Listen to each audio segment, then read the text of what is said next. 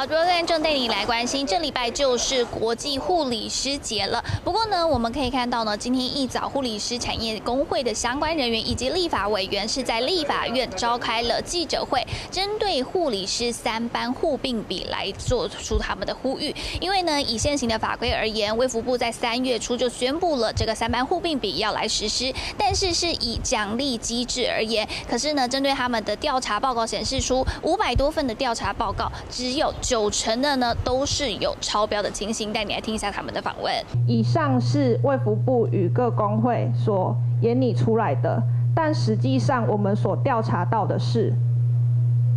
医学这是我们工会问卷调查的中位数，所以其实还有可能会有更严重的状况发生。实际的护病比越高，代表的是越少护理师上班。当发生病人有问题要急救的时候，能用的护理师就越少。那对于病人安全